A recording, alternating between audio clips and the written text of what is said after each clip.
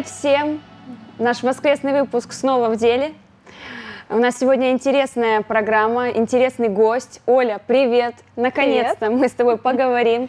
Ты такая интересная девушка, в тебе совмещается столько положительных э, качеств. Э, ты такая талантливая. Э, если кто не знает, Ольга пишет песни. Я когда зашла на канал, почти 22 тысячи просмотров на твоей авторской песне, слава богу. Слава ты богу. также пишешь стихи, ты пишешь посты, ты создаешь программы, ты решаешь любой сложности задач задачи, ну просто мега мозг одним словом. И еще ты ходишь в церковь, это прям вообще просто полный компот. Расскажи, пожалуйста, о себе и вообще, что ты забыла в церкви? Такая умная, красивая, творческая, э, обаятельная, милая. Да, Дарья, ты так меня представила, спасибо большое. Я очень рада быть здесь сегодня с тобой, делиться своей историей. И я сейчас расскажу о себе, и я думаю, все, кто смотрят, поймут, почему э, я все-таки нашла себя в церкви. И несмотря на все таланты, все дары, я верю, что все это вложил в меня Бог, и в церкви мое место. И я готова поделиться с вами своей историей. Так что давайте сейчас нальем чай, кофе, и в это воскресное утро вместе послушаем историю Оли. И первый вопрос. Ольга, расскажи, пожалуйста, с самого начала вообще, из какой ты семьи, какое у тебя было детство. Э, да. Нам очень интересно. У меня было прекрасное детство, я родилась в полной семье, и всегда, когда я вспоминаю о своем детстве, у меня очень теплые воспоминания, потому что э, практически все мои родственники — это интеллигенция, это преподаватели, которые преподают в вузах, в школах, в различных учебных заведениях, и я думаю, э, мне также пророчили такое будущее в детстве, детстве поступила ну, в одну из лучших школ. Э, первые несколько классов я была просто круглая отличница. Я не могу сказать, что я была вундеркинд, но уже с трех, с четырех лет я читала. Более того, читала и на русском, и на английском уже 4 языке. Четыре года, да. Поэтому на самом деле я считаю, детство было безоблачным, очень интересным. Э, в семье практически не слышала ни мата, я не видела пьяных э, истерик, драк, скандалов. То есть э, прекрасная, идеальная семья. Все должно было быть очень-очень хорошо.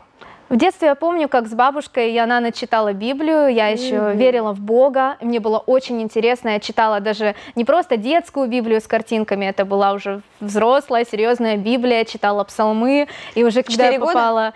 ну, наверное, не в 4 года, но точно в раннем возрасте, mm-hmm. я молилась молитвой «Отче наш», э, каждую ночь. Мне было очень интересно узнать вообще Бога. У меня был такой духовный поиск еще, будучи совсем маленьким ребенком. Вау, это уникально. Да не с каждым ребенком такое происходит с самого детства. А ты уже с самого рождения была вот э, избранным Божьим сосудом. Но зная историю Оли, э, в ее жизни произошло одно очень серьезное событие, которое разделило ее жизнь, э, всю семью вообще на жизнь до и жизнь после. Что произошло там, Оль?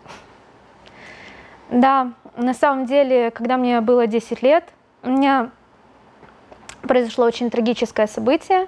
У меня умерла мама, и, как ты правильно говоришь, э, с того момента жизнь поделилась на до и после. Сколько лет было маме?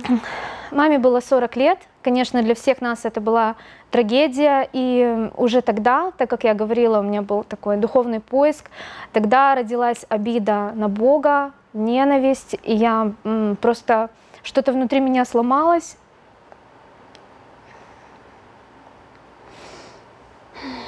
Да, очень многие люди да. ломаются, когда такая ситуация происходит. И практически вот э, сколько вот общалась с разными ребятами, людьми, это всегда была обида на Бога и вопрос, да. если Бог есть, почему умирают мои родители, близкие люди? Да, и с того времени Э, я стала еще глубже разбираться в этих вопросах. Э, что интересно, я задавала вопросы в окружении, даже сталкивалась с различными православными священниками, задавала вопросы своим знакомым, потому что в нашей семье традиционно было соблюдать обряды, я во всех них принимала участие. То есть в детстве мне это было очень интересно, но по мере взросления я еще стала взращивать в себе ну, ненависть к Богу, я задавала вопросы, кричала в небо. Ответ был? И ответа не было, конечно же, э, и только, можно сказать, придя в церковь, я получила ответ, что это дьявол приходит украсть, убить и погубить. Да. Тогда, конечно, я всего этого не знала, и мой духовный поиск продолжился, и, к сожалению, продолжился тем, что я не пришла к Богу, но наоборот, я стала увлекаться оккультизмом, я стала читать различные философии, различные книги, э, увлекаться алкоголем э, и тому подобными нехорошими вещами, о которых расскажу более подробно. А, Оль, вот вы потеряли маму, э, семья да, изменилась, да. вы остались с папой, у тебя есть брат. Да. да. И как дальше складывались твои отношения в семье? Кто стал воспитывать тебя? Кто стал твоим авторитетом, потому что, насколько я знаю, да. что ты была близка со своей мамой, и ее вот не стало, и что дальше? Как дальше жить? Да, я как э, подросток, как ребенок, конечно же, искала авторитеты в своей жизни. Для меня этим авторитетом стал мой брат, старший. Э, так сложилось, что все в нашей семье слушают тяжелый рок, и я mm-hmm. с детства была взращена э, на этих пластинках, кассетах. Э, и мой брат, эм, скажем так, пошел дальше. Вот он еще в юном возрасте сам начал увлекаться алкоголем, начал курить, начал попал, ну, скажем, в плохую компанию. Естественно, я пошла за ним. Mm-hmm. И можно представить только, что я уже в 13-14 лет начала ну, достаточно сильно пить, э, курить, э, гулять, ругаться матом. Ну вот и... помнишь, ты рассказывала, что ты могла спокойно выпить одну бутылку водки. Да. На самом деле это страшно, и когда я вспоминаю об этом, мне даже не верится, что я, будучи подростком, могла пить просто... Девушкой? Девушкой, да, пить со взрослыми мужиками, и даже э, обычно как девушку провожают домой. Но было такое, что я просто оставалась до конца, э, и даже иногда я шла с кем-то до дома, то есть настолько это было серьезно, и э, только сейчас я понимаю, насколько отец он на самом деле вложился в нас, смог нас вырастить, как он вообще нас такими терпел. Э, мы устраивали... Он, он уже не был авторитетом. Конечно, понимаю. да. Отца я очень уважала, любила, но равнялась на старшего брата, хотела быть похожей так на часто. него и пошла вот таким вот путем. Оль, э, расскажи, я, потому что не, не все знают, что дальше, куда ты попала, в какое общество, на какие собрания ты начала ходить да. и чем ты начала увлекаться и заниматься. Да, дальше, больше. Я бы сказала, что эти собрания э, лично я и стала устраивать. Обычно говорят, э, попал в плохую компанию. Угу. Я бы сказала, я организовала такую плохую компанию. То есть у меня продолжился мой духовный поиск, и вместо того, чтобы искать Бога, я стала поклоняться дьяволу, то есть та музыка, которую я слушала, та литература, которую я читала, все это приводило меня к тому, чтобы хулить Бога, чтобы прославлять дьявола. Я много занималась э, творчеством. Э, у нас в компании было принято, я рисовала различных бесов, э, различных чертей. Я правильно понимаю, это сатанисты? Да, то есть можно сказать, что я просто превратилась в сатанистку. Из такого ребенка, который искал Бога, читал Библию, э, я стала увлекаться совершенно противоположными вещами. Вот даже я, Оль, да, очень много слышала сатанисты, сатанисты, да, для меня это что-то страшное. Но вот ты была изнутри, расскажи вообще, насколько духовный мир на самом деле там реален, присутствие бесов вообще, и, и как это отразилось на твоей жизни? Если говорить о нашей компании, чем мы занимались, э, то среди нас были люди, и я лично этим занималась. Э, мы пытались каким-то образом манипулировать духовным миром, то есть слышать голоса, видеть видения. Я читала различные книги э, про то, как заниматься телепатией, телекинезом, гипнозом, в общем, разные такие вещи. Э, расскажу одну историю, которая более будет понятна. Э, мне настолько было интересно ну, вот, понять э, духовный мир, проникнуть туда, что однажды я взяла книгу у своего знакомого, называется так «По черной и белой магии». Конечно, как мы верующие люди, мы знаем, не бывает черной и белой магии, это был чистый ВД-оккультизм. И мне было интересно передавать мысли на расстоянии. У нас была музыкальная группа, если так можно назвать, где мы, эм, во-первых, я писала лично песни во славу дьяволу, то есть э, как сейчас я могу писать творчество во славу Божию, я буквально ночью молилась, размышляла, просила у каких-то неведомых сил дать мне э, тексты, Серьезно, дать понимание, да? то есть я очень ну, глубоко этим занималась. И в, в один вечер мы встретились, и я попробовала э, эти практики. Выключился свет, была такая интересная атмосфера, все играют, представьте себе, на музыкальных инструментах, и я, девочка еще молодая, пытаюсь каким-то образом, в общем, передать мысль. Э, и эм, оказалось, что человек, который был в нашей компании, он очень глубоко сам этим всем занимался. Ведун такой духовный. Да, и когда включился свет, э, мы остались один на один, все вышли, и он подходит ко мне и говорит, девочка, ты пытаешься проникнуть туда, куда не надо. Ты еще не знаешь это, это, это и это. То есть это были ребята, которые на самом деле увлекались оккультизмом. Серьезно? Чем еще мы занимались? Э, мы пили кровь Э, как это происходило, то есть мы просто могли встретиться в компании, порезать друг друга руки и дать друг другу попробовать кровь. Стакан? Нет, не было стаканов, ничего такого, просто вот вот таким образом. Оля, вот и скажи, голоса-то можно слышать? Конечно. То есть духовный мир — это реальность? Когда человек открыт, я была очень открыта, э, то есть еще не будучи в церкви, э, духовный мир, он приходил в мою жизнь, я слышала разные вещи, это меня пугало, никто не мог ответить, что с этим делать, как это направить вообще. И были ну, различные манипуляции духовным миром с моей стороны, и слава богу, что я оказалась в церкви. У меня была еще одна история, которая мешала мешало мне прийти к Богу. Э, я всегда, так как я искала какой-то духовной власти, какой-то силы духовной. Мурашек. Да, мурашек, переживаний. Э, у нас были такие, ну, скажем, дары от дьявола, что я просто... Уже сейчас в церкви я понимаю, что это было. Я просто подходила к человеку, возлагала на него руки, э, произносила какие-то манипуляции, и нам не знаю, я уже не могу даже разобрать, насколько это было правда или нет, но, в общем, мы пытались как-то лечить друг друга друга, передавать друг другу какие-то, забрать чужую болезнь. И, в общем, ну вот такие и что, вещи. И когда получалось, получалось, получалось и э, когда уже я, э, сейчас, когда мне первый раз проповедовали Евангелие, э, первая моя реакция была, и что, теперь это все пропадет? Теперь я ничего не смогу? Э, и на самом деле это эм, очень мне мешало, и когда я пришла уже в церковь, я поняла, насколько больше может дать Бог, насколько все эти манипуляции духовным миром были просто сатанизмом, который, наоборот, разрушал мою жизнь. Просто вот реально милость Божья, что в, просто у Бога все вовремя.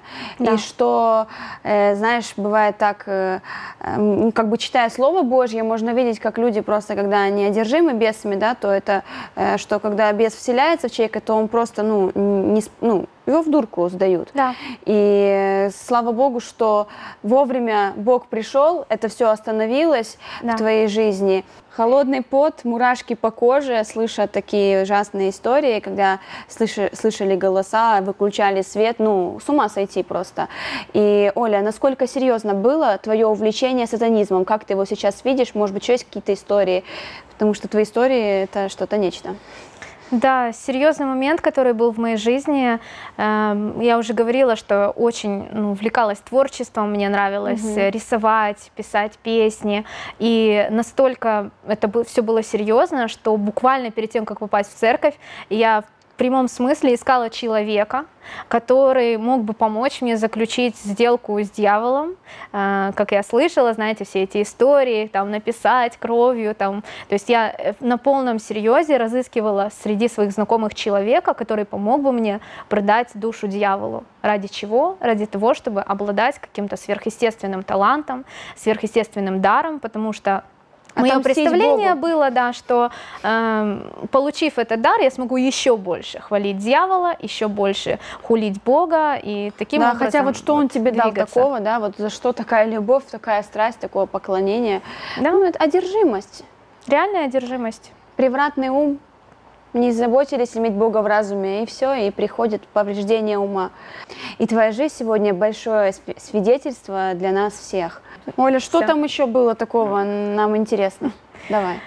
На самом деле я очень серьезно относилась к тому, что вот я была сатанисткой, для меня это было, ну скажем, дело моей жизни, вплоть до того, что я могла заходить на форумы, э, заходить на сайты, э, как сейчас мы можем видеть, как люди пишут в комментариях, в сообществах и буквально издеваться над верующими людьми, писать им различные моменты, как мне казалось, разоблачая этих христиан, которые глупые, как овечки, идут за своим Богом. И поэтому сейчас я иногда чувствую, что я даже пожинаю это, когда я проповедую Евангелие, я сталкиваюсь с каким-то негативом. И а я понимаю, ты, Оля, разоблачаешь. Я понимаю, что эти люди, они просто находились в таком же обмане, как и я это реальная слепота, и я теперь ощущаю свое призвание вот этих погибших, этих э, обманутых дьяволом, потому что что на самом деле может дать дьявол?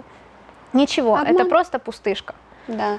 Оля, да. и давай еще поговорим о тебе как о личности, да. э, потому что находилась в мужском, мужской семье, на мамы не было, остался папа и брат. Отразилось ли это на тебе, как на девушке, на твоем вообще понимании этого мира, отношения к себе, к, окружа... э, к людям?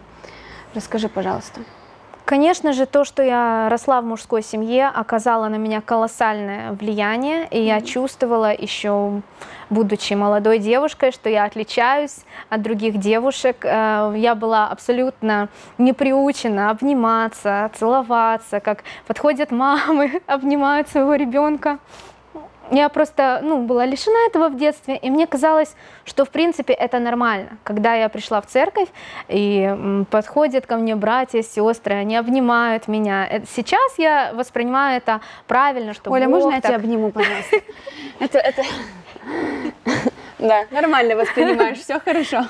Да, слава Исправили. Богу. Но э, вот такое влияние, то, что я росла в мужской семье, была такой пацанкой, играла в футбол, бегала там. Э, а в общем, кукол у тебя не было? Куклы были, но лучше сжигала? не знать, во что я играла с этими куклами. Чем... Вообще, на самом деле, ре реально так сложилось, что я там в детстве играла в солдатики, в игрушки в компьютерные, и мне казалось, что... Меня мама тоже играла в солдатики. Да.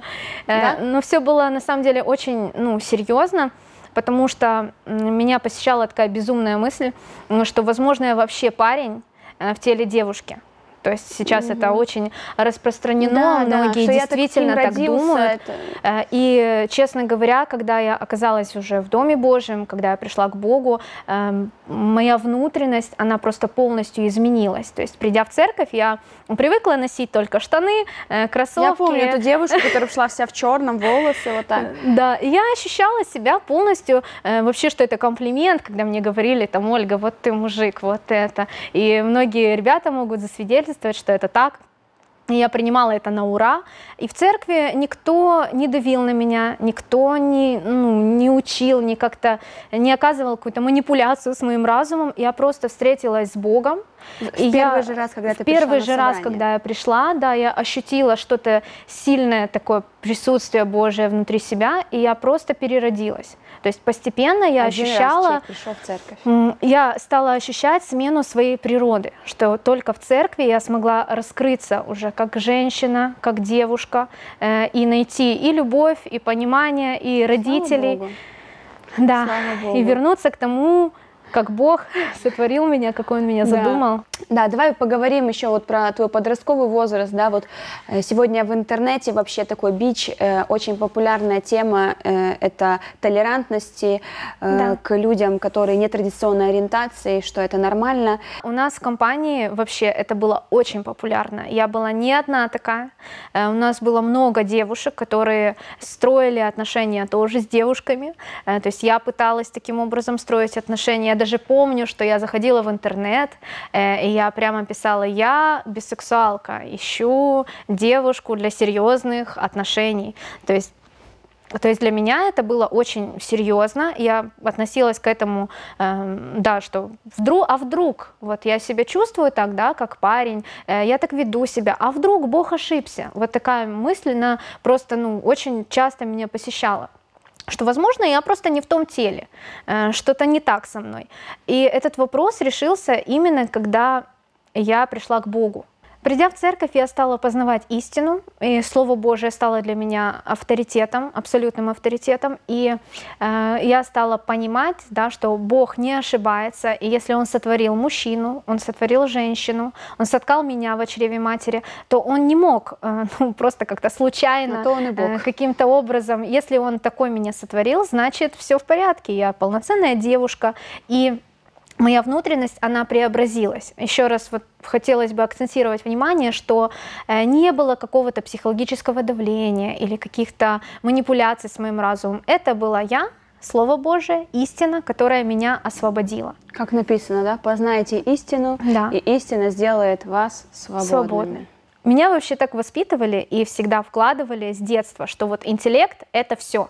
Если у тебя есть интеллект, у тебя есть дары, задатки, ты умеешь считать, Достигнешь писать, и ты просто там мега-мозг, это все, это решит э, все твои проблемы. Но на самом деле я по опыту уже могу сказать, что мне мой мозг не помог. Э, м, Когда пришли бесы, когда пришли одержимости, э, когда посещают вот такие безумные мысли, э, ничего просто этот мозг не мог сделать. Только Бог и только Дух Божий, Он мог освободить меня.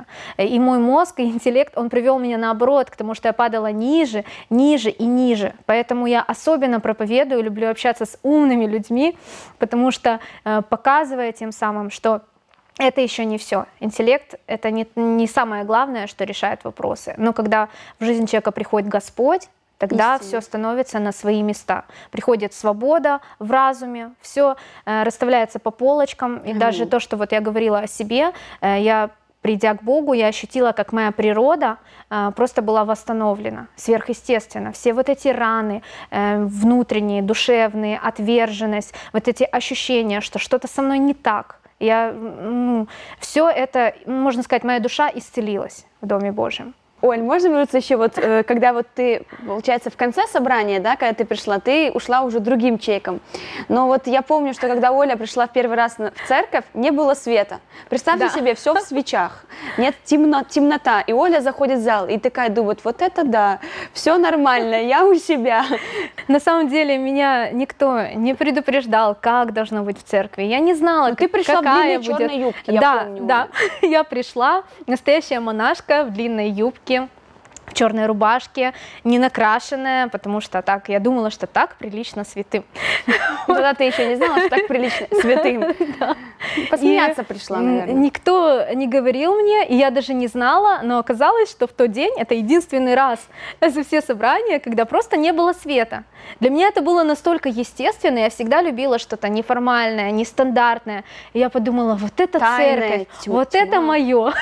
И мне настолько понравилось. И Я помню, эта музыка, когда не работали еще микрофоны, один радиомикрофон, к- клавиши, но мне Ну, настолько понравилось. Под гитару. Да, все было настолько просто для меня. Это было собрание для меня. акапелла. А потом следующее воскресенье Оля приходит, а там свет. В смысле? А это просто было один Да. раз. Оля, расскажи про преображение, потому что человек, у которого был, был такой огромный багаж всего, да, э, вытащить из тебя столько чертей, Да. тьмы, этой всякой э, ложной философии, э, ну, как бы это э, вообще было трудно для божьих людей, или все вот так щелчок, и ты просто вау, аллилуйя, Иисус Господь, э, иду покорять этот мир в вере. На самом деле это целый путь, который продолжается еще сей сейчас, день? по сей день. Надо мной работают, трудятся, учат, наставляют меня. Я уже немного говорила о внутреннем преображении, о том, что моя природа стала меняться. И самое тяжелое для меня было это внешнее преображение, потому что э, когда я росла, я уже говорила, это мужская семья, это, знаете, мужские запахи, мужской внешний вид. Меня никто не учил даже простым вещам, не было мамы, э, не было ну, женщин в моем окружении. И священникам приходилось работать э, над такими вещами, что нужно заботиться о себе, должна быть правильная гигиена, вплоть до того, что элементарные вещи, постирать носки, почистить зубы. Эм, Я пришла настолько ну, боль- Несформированная. больным, несформированным человеком, что пришлось работать над такими мелочами. И твой А. священник даже работал над вот такими внешними э, Да, вещами. да. Это здорово. Хорошо, когда есть такой священник. Про тебя расскажу, помнишь? Да, вот это да. интересно. Давай ра- расскажи про меня, расскажи, Оль, расскажи. Э, Есть одна история, которую я всегда люблю. Никогда не забуду. Да. Я буду смеяться. Давай. Началось преображение Оли, внешнее, значит. Мы ее Я тогда про прославление два слова скажу. Ну, что... Мы ее посадили на стул и говорим, Оля, а теперь мы будем тебя преображать. Достали утюжки, э, расчески, лак, маки, это, всю там косметику.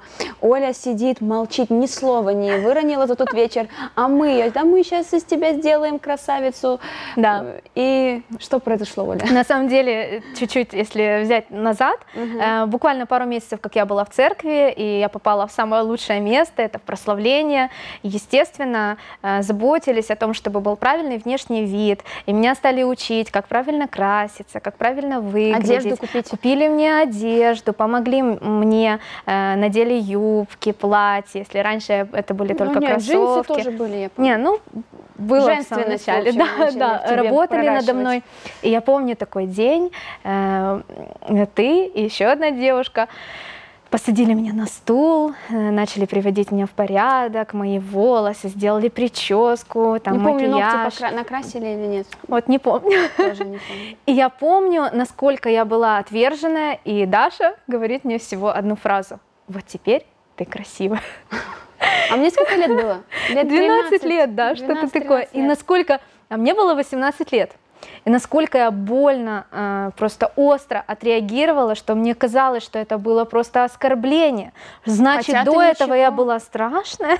Все. Но ты и ничего не сказала, ты Я ничего ушла. не сказала, я помню, я сделала такое лицо, стала собирать свои вещи. В коридоре я нервничаю, ко мне подходит, Оля, что случилось? Все же было хорошо, что произошло? Все нормально. Все хорошо, да. И я просто собрала вещи, ушла, и потом уже по пути домой я стала понимать, что настолько меня это ранило, Оля, что... прости. Конечно, уже давно простила тебя.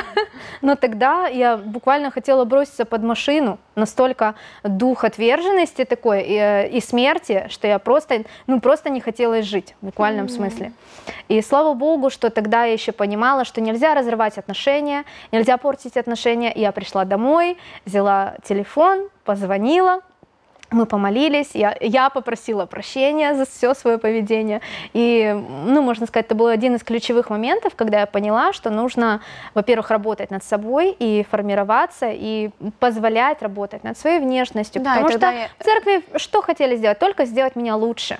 Я помню в тот вечер да. молитва, которую высвободила пастырь Наталья в твою жизнь, когда э, просто по телефону да. ты прямо освобождалась, плакала, и да слава Богу, Бог тогда что-то сделал с твоим сердцем. В тот вечер Бог исцелил да. сердце Оли, и дух отверженности пошел вон из ее жизни. Слава Иисусу. Аминь, да. Слава Иисусу. Э, я думаю, что у всех создался вопрос, видя и слыша историю Оли, как она попала в церковь. Кто был, э, кто этот человек, кто смог повлиять на такую даму?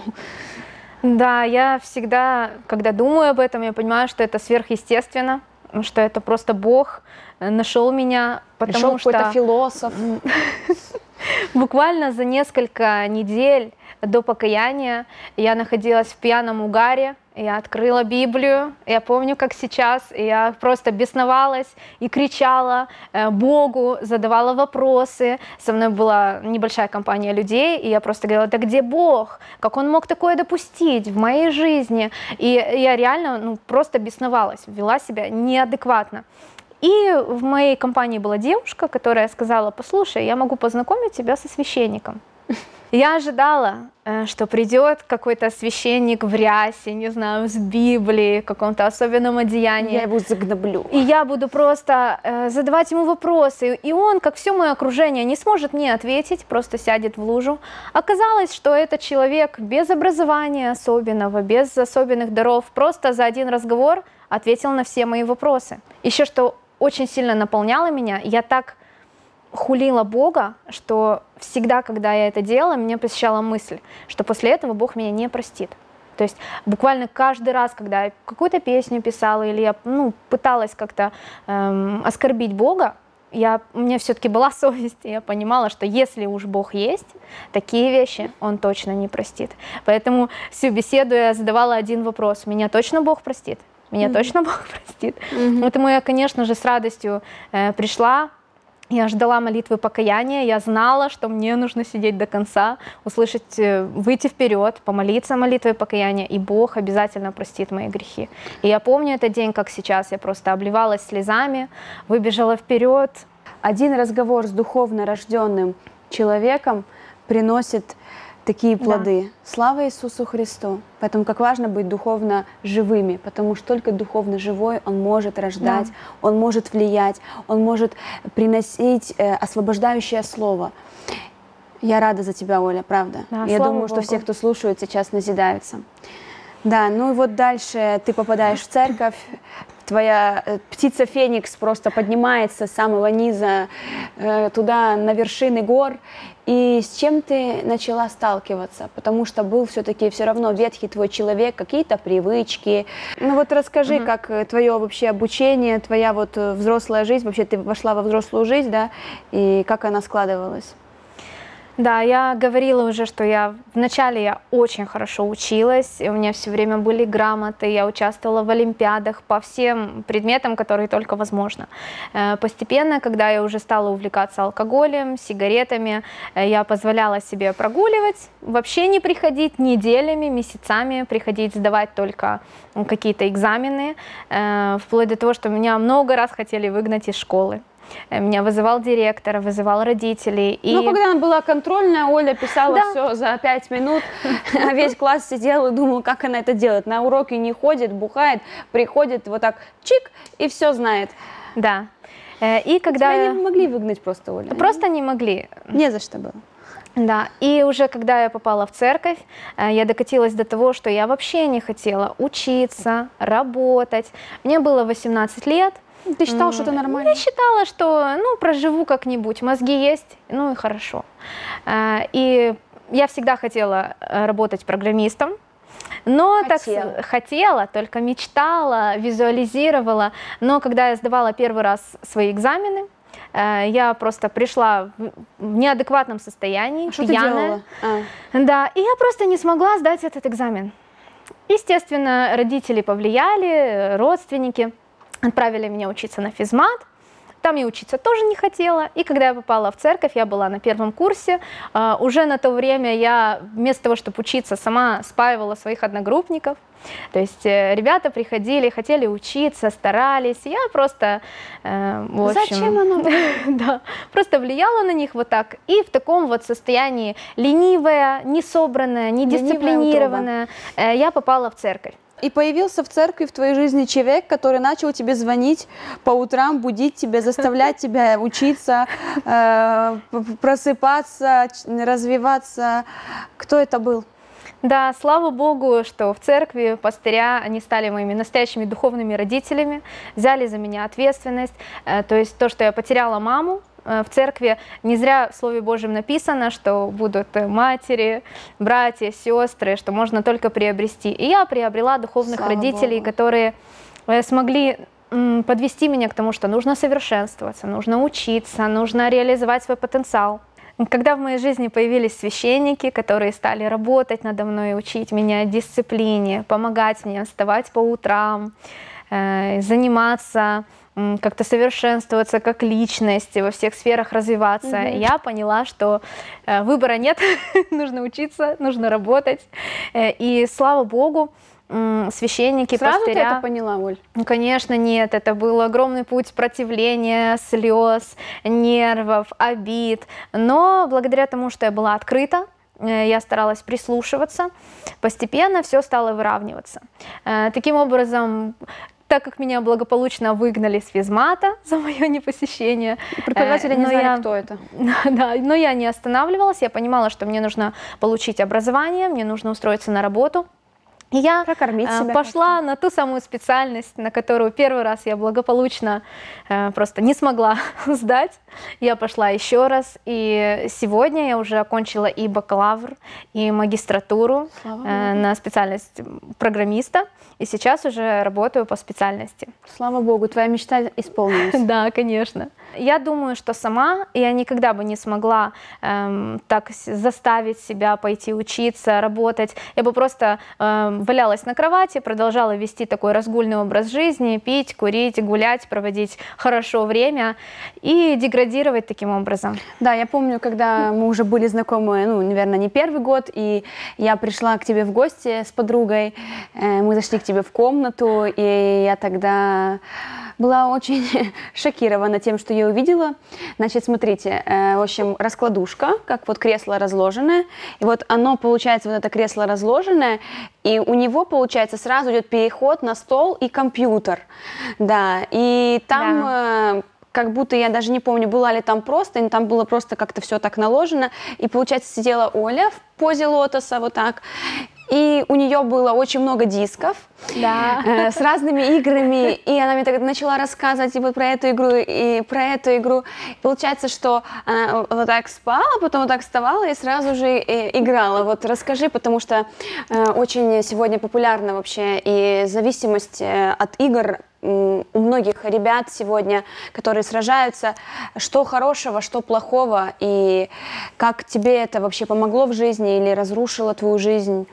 Я считаю, что в моей жизни это была большая проблема, потому что из-за того, что я просто сутками, сутками подряд я могла играть э, беспробудно, беспросыпно, находиться в таком иллюзорном состоянии, даже иногда не кушать, э, не, не пить, просто вот я могла сесть и сидеть за компьютером ну, несколько часов э, вот так вот подряд. И Часов. это мешало мне. Сутками? Ну, да, это мешало мне, потому что я абсолютно не было мотивации развиваться. Зачем, когда можно так хорошо проводить время? И именно в церкви, именно в служении Богу я стала освобождаться постепенно, мой мозг стал освобождаться, и я поняла, что э, ну, этот путь в никуда. Но все-таки почему это так сильно завлекает сегодня молодежь и даже взрослых людей, да, вот это сидеть там, э, может быть, там что-то есть такое особенное, чего нет в реальной жизни? Вот поделись, ты все-таки была заложником этой системы. Ну, на самом деле, как я считаю, в этом и есть проблема. Это уход от реальности. Самое большое, почему тянет играть, почему тянет в этом пребывать, потому что в реальной жизни что-то не сложилось, ноль. ты полный ноль, э, да, даже Несчастный. как Слово Божие учит, все определяется по плоду. Угу. Плода нет, результата нет. И, конечно, когда в игре ты кто-то, ты уже 80 уровень, у тебя Level уже 90, там шмотки, у тебя еще что-то. И это иллюзия, что ты чувствуешь себя кем-то, будучи никто и ничто. Да. Поэтому, слава Богу, что церковь приводит в реальность, учит развиваться, совершенствоваться. Да, потому что однажды фильм закончится, да. и когда ты проснешься, да, и эта тык, карета превратится в тыкву, ты просто понимаешь, что в жизни ты полный ноль. Что все-таки помогло тебе освободиться от этой зависимости, которая у тебя была? Сколько лет ты вообще была в этом всей О. системе?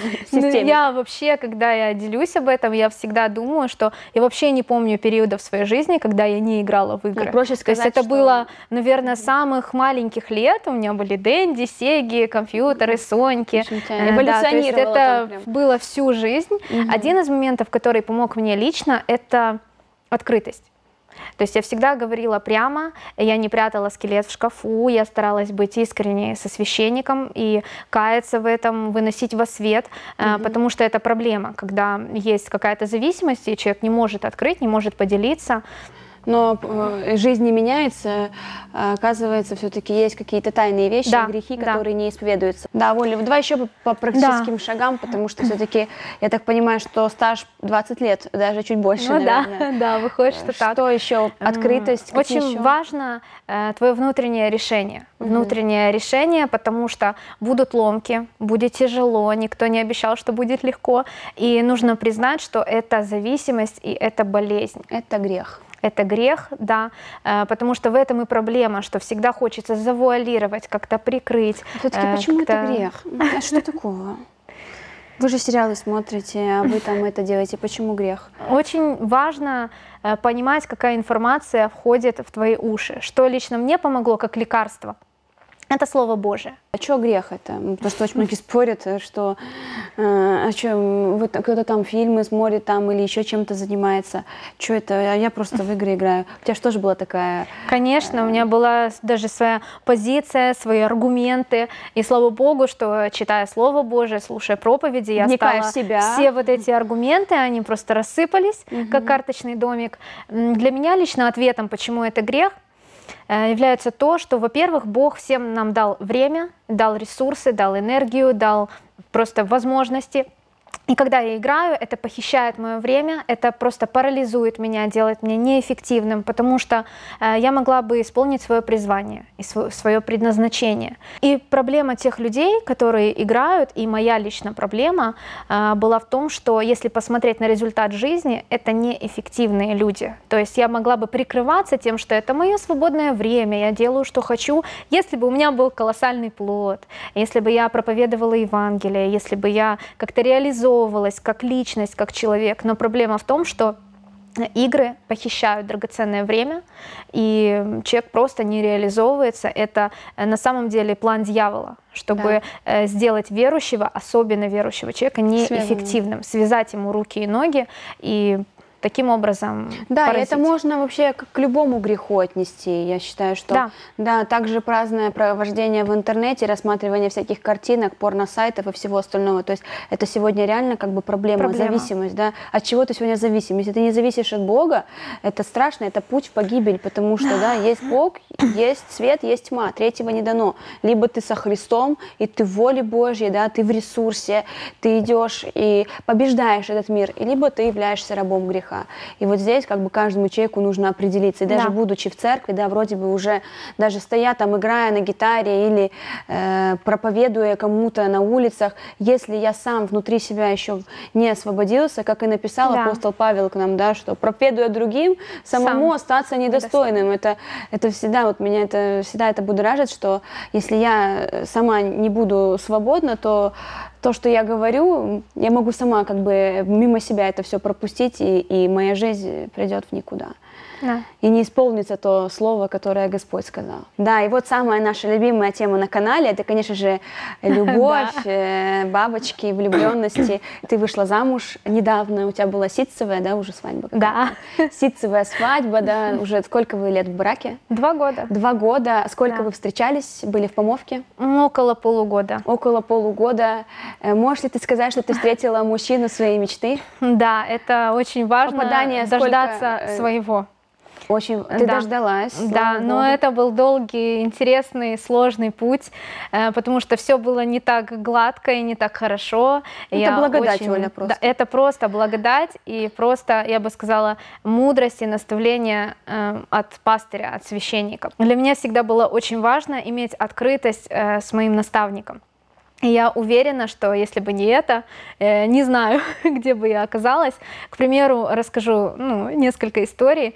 Да, я всегда была очень влюбчивая девочка. Да? И, как я говорила, я была отверженная, не знала э, себе цены, Проблема в том, что я не знала себе цены, я не видела все вот эти, как сегодня ты так представила, все там дары, какие-то таланты, ум, э, ничего этого. Я, я как бы знала, что я такая, но э, всегда искала себе пару, которая мне не соответствовала. То есть это было до церкви, это было в церкви. Наверное, ты, и... не то, что ты искала, просто как бы была готова... Просто мое сердце было открыто, да. и можно Хоть сказать, вот, вот меня. первый попавшийся, кто попадал в мои объятия, вот я...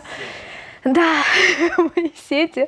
Я просто была открыта к этому. И на самом деле э, не хочется даже вспоминать те, кто знает. Оля, вспомни, это были расскажи. очень э, странные люди. Я когда вспоминаю конкретных личностей, один из них, он очень много пил. Я помню, прихожу и говорю, пастырь, он мне так нравится, ну ничего, что он грешник, но вот мое сердце, я, я прямо, я спасу его, я буду ему проповедовать Евангелие.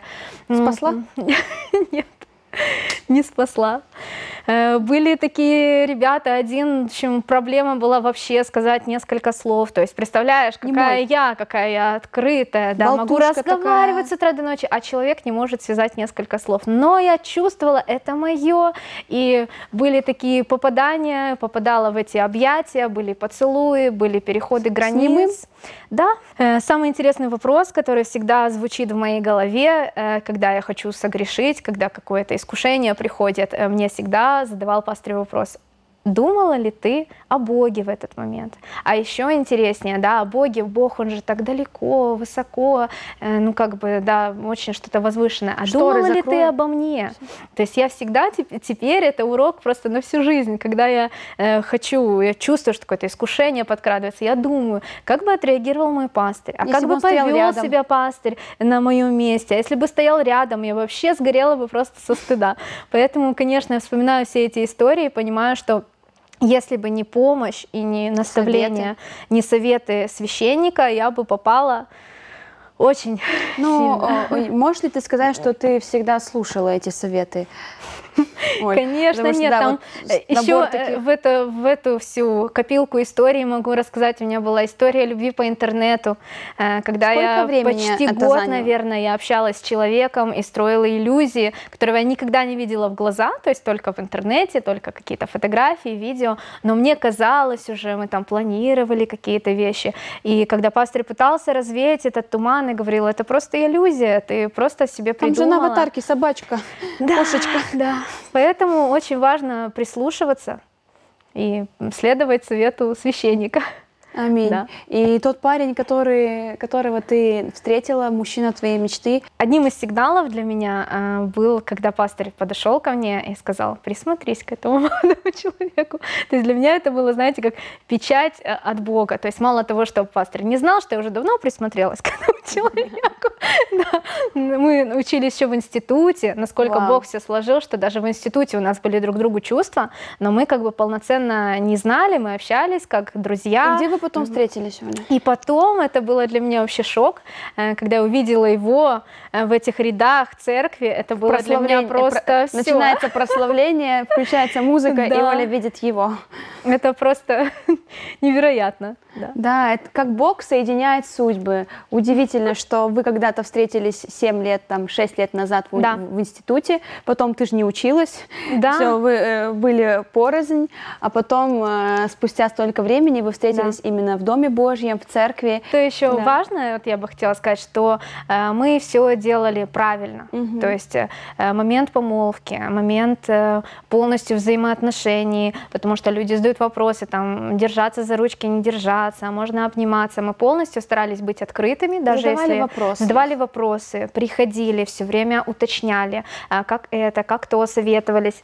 Ну и вот да. момент, который вот тоже могу сказать, видя со стороны вас, что э, тот парень, с которым ты начала строить отношения уже серьезные, да, на, на основании Божьего слова, как надо, э, он был полностью э, открыт, как и ты с Божьим да. человеком, и для тебя не было, да, вот как ты по интернету там по, да, да. картинка, и ты не знаешь, кто это, и неизвестно, какие там черти, а что этот человек был рядом, и он был в том же учении, да. э, в том же ведении, и поэтому вы легко соединились соединились, да. и не было таких моментов, ой, ты что, Библию читаешь? А нет, я хочу там что-то другое, футбол, кинчик посмотреть там. А у вас были одни интересы, и вот когда, э, да, вот подобное с подобным соединилось. Что интересно, у нас были, то, что ты говоришь, и общие, ну, негативные интересы, мы как оба геймеры нашли друг друга. А, потом да. вместе освобождались. Потом да? вместе освобождались. Mm-hmm. И видно, что э, мое откровение, оно, я его получила, ну, как для семьи уже. То есть вот как я получила свободу, я увидела, что для него постепенно его интересы стали реально меняться. То есть у нас по поводу того, что стопроцентное попадание, попадание э, общие вкусы в музыке. То есть очень редко, когда найдешь, э, это проблема вообще в некоторых, ну, скажем, в семьях, в некоторых отношениях, когда он включает музыку, выключи. и она выключит. То есть очень Кстати, у моих родителей тоже попадание стопроцентное. Это очень круто, когда можно вот так. И самое интересное, обещала, что я скажу об этом, э, что уже впоследствии оказалось, что мы друг у друга вообще были первыми. То есть в 27 лет найти мужчину, найти парня, который смог себя сохранить, это огромная редкость. Да, да, Бог тебя благословил. Слава Иисусу. Потому что многие боятся не дождаться.